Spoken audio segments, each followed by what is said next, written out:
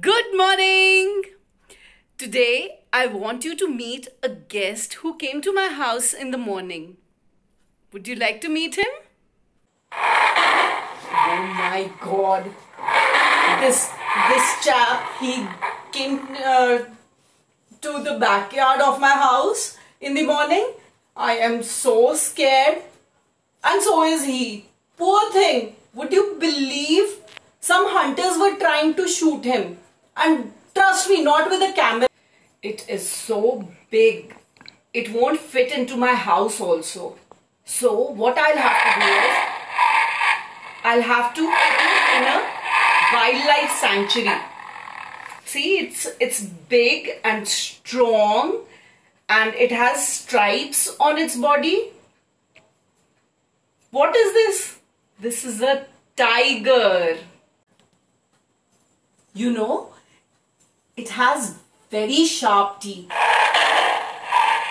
And its paws and claws are very dangerous. He can kill its prey in just one strike.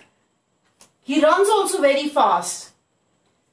And another thing about him is that he belongs to the cat family like lions, leopard, cheetahs.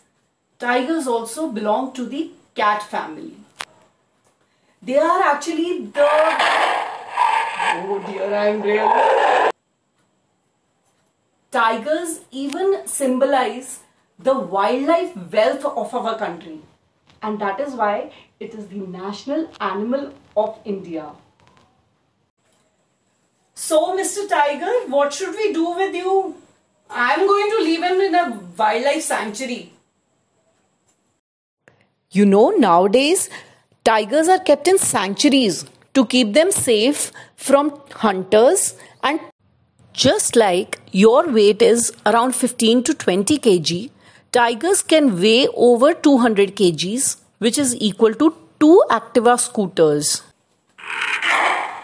Do you know if the hunters would have caught you, they would have either sold you to a circus or made a doormat out of your striped skin. You know kids, every 29th of July, we celebrate as International Tigers Day. This day is celebrated basically to spread awareness about saving tigers and protecting their natural habitat. That is their forests that save the wildlife, save forests. And now I would like to see how you are going to spread awareness. Do send a picture of yours, a photograph, not a video, a photograph showing that how did you spread awareness to save tigers. So kids, did you like our video? Tell me something, all of us have our names. What about this chap? Mr. I've been calling him Mr. Tiger. What about you? What would you like to give him a name? If you had a pet tiger, I'm sure you would have kept a name for him.